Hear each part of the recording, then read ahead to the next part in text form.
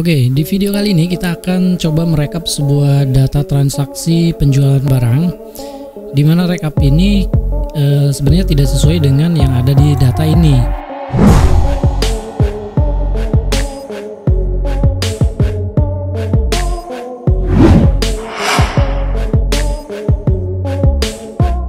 Nah, contoh di sini kan ada Vivo Y53 matte black ya. Kemudian ada juga Samsung Galaxy, di sini juga ada Xiaomi, kemudian juga ada Oppo ya. Kemudian di sini ke bawahnya sama ya, ada ada Xiaomi juga, ada Oppo juga, ada Samsung juga ya. Nah, ini data transaksi sebanyak 42 transaksi ya dari tanggal 1 sampai dengan tanggal 30. Oke, di sininya ada harga, kemudian di sini juga ada jumlah transaksi yang uh, terjualnya ya. Oke, jadi kita akan membuat rekapnya sederhana. Jadi teman-teman di materi ini kita akan uh, membahas bagaimana caranya menjumlahkan dengan kriteria tertentu, tetapi kriterianya tidak sama yang dengan yang ada di sini. Oke, kita coba di sini ya buat ya. Jadi yang pertama kita tuliskan di sini adalah Samsung ya. Kita buat rekap untuk Samsung. Berikutnya ada juga Xiaomi.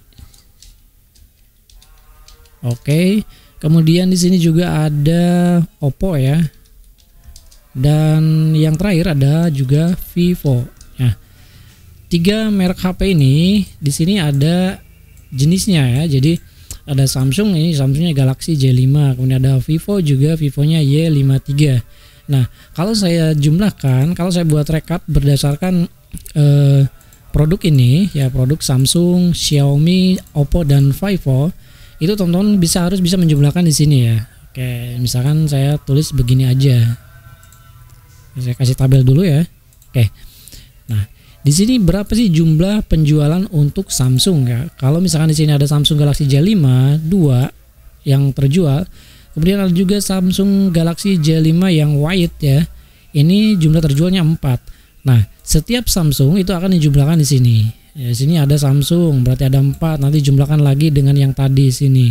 Kemudian kalau di sini ada lagi, berarti tambah lagi jumlah ini, jumlah ini dan seterusnya sampai dengan akhir transaksi ini. Nah, teman-teman, rumus ini teman-teman harus ketahui karena memang jarang sekali uh, orang membuat tutorial seperti formula yang akan saya jelaskan di tutorial ini ya. Oke, langsung aja. Caranya sederhana, teman-teman. Caranya sederhana, kita gunakan fungsi sum if ya. Seperti biasa untuk menjumlahkan dengan kriteria tertentu itu menggunakan fungsi sum if. Ya, jadi teman-teman di sini tulis aja sum if yang ini. Oke. Ya, sederhananya begini, ini sum if. Kita akan menjumlahkan jika ya rank, oke. Di sini teman-teman ada ranknya. Ini berarti ranknya adalah di sini, teman-teman ya. Oke, ke sini kita ambil Nah, sampai terakhir. Oke. Okay. Sum if D3 sampai D berapa nih? D44 ya. Kemudian kita kunci lagi dengan F4 ya. Seperti ini. Oke, ini yang materi yang sebelumnya ya. Jadi ini uh, absolut dan relatif itu silahkan pelajari juga cara membuat formula relatif dan absolut ya. Jadi setelah ini teman-teman kita lanjut ya. Kemudian kita koma ini kriterianya kriterianya kita ambil yang sama dengan yang ini Samsung ya nah, berarti teman-teman pakai tanda petik dua ya Samsung. Oke okay, seperti ini. Oh sorry ya. Saya tulisnya salah. Samsung. Oke. Okay. lalu teman-teman di sini jangan lupa pakai bintang ya. Karena di sini kalau Samsung aja itu tidak akan ditemukan. Kenapa? Karena di sini ada Samsung Galaxy J5 dan seterusnya sampai sini. Yang keduanya juga ada Samsung Galaxy J5 ada yang white. Dan ke sini juga ada Samsung Galaxy S7 Edge dan seterusnya. Nah, kita akan mencari penjumlahan dengan syaratnya yang ada kata kunci dengan Samsung. Maka di sini di akhirnya di, dikasih tanda bintang ya. Oke, seperti ini. Setelah itu teman-teman tinggal tanda petik lagi. Kemudian di sini sum rank-nya kita jumlahkan yang ini. Oke, kita tarik. Nah, sampai terakhir. Kemudian kita lihat di sini dan setelah itu teman-teman tinggal enter aja. Nah, kita bisa menemukan, kita bisa menghasilkan jumlah yaitu 56. Kalau teman-teman cek satu persatu itu jumlahnya sama 56. Ya contohnya begini. Ini Samsung yang Galaxy J5 yang gold ya ada dua. Kemudian yang white 4 itu udah 6 ya. Kemudian kalau ada lagi sini Samsung Nah, ini tambah 4 berarti 10. Ada lagi Samsung lagi sini tambah 1 11 tambah 1 Samsung lagi 12 dan seterusnya.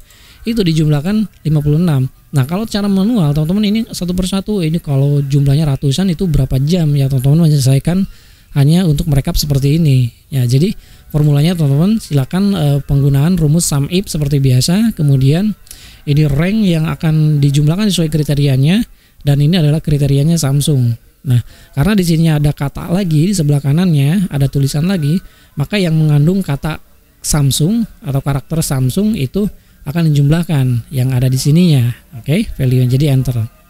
Hasilnya 56. Nah, jadi mudah ya. Sekarang teman-teman sudah tahu bagaimana cara menjumlahkan eh, yang berdasarkan kriteria, tetapi kriterianya di sini ada teks lain yang eh, sebelah kanannya. Oke, seperti itu.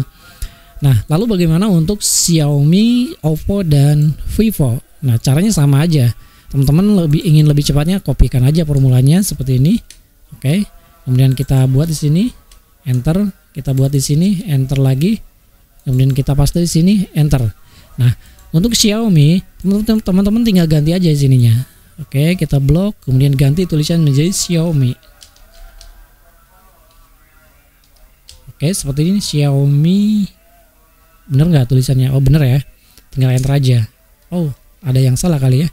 Xiaomi Xiaomi salah ya tulisannya salah.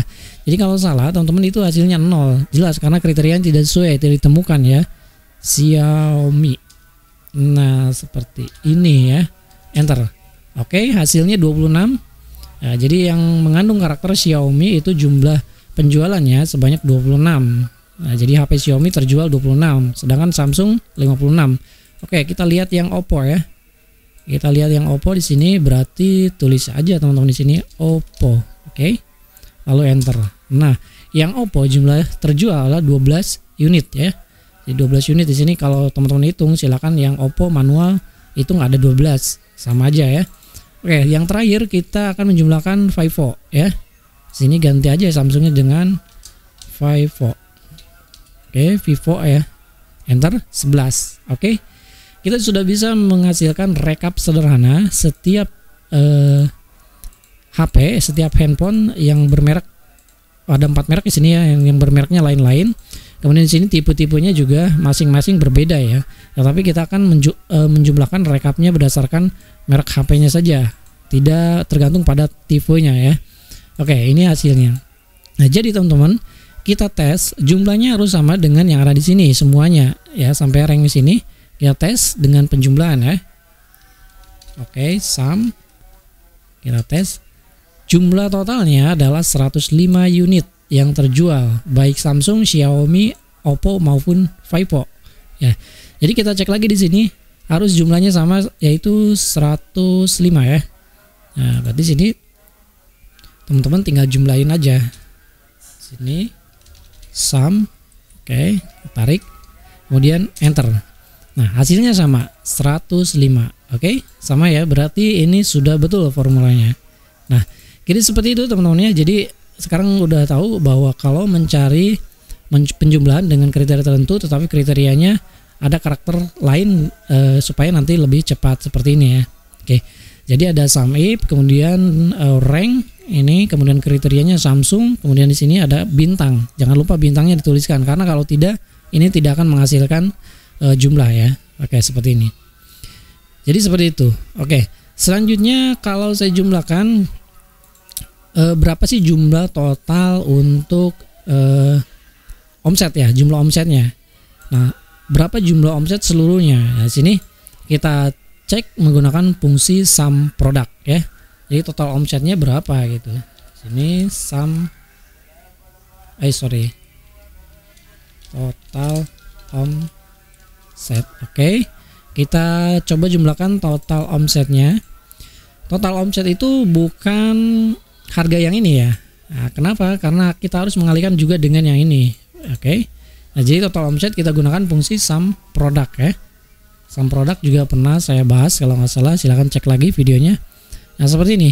Sum product berikutnya array ke satu. Array ke satunya kita pilih yang ini ya. Ini E3 sampai dengan E44. Oke. Okay. Nah, sampai sini. selanjutnya kita koma lagi atau titik koma. Array keduanya yaitu kita ambil yang F yang ini. Oke set. Nah setelah ini teman-teman tinggal enter aja karena sudah selesai. Nah hasilnya seperti ini. Kita kasih ini numbernya koma style. Oke omsetnya adalah 401.593.000 ya. Oke jadi ini total omset jadi ini dikali 3, ini dikali 2, ini dikali 4 dan seterusnya. Nah, kita bisa menggunakan fungsi sum product. Oke, seperti itu ya, teman-teman. Jadi mudah. Sekarang kita sudah tahu bagaimana menjumlahkan berdasarkan kriteria, kemudian kita juga bisa menjumlahkan uh, total omset penjualan untuk bulan Januari seperti ini. Oke. Oke, ini aja videonya, teman-teman. Mudah-mudahan video ini bermanfaat dan seperti biasa kalau bermanfaat silakan untuk ditekan like-nya dan bagi kalian yang baru menemukan channel ini, silahkan untuk di subscribe karena channel XID akan terus update video tutorial-tutorial terbaru tentang Microsoft Excel. Oke, sampai di sini videonya. Terima kasih. Sampai bertemu kembali di video berikutnya.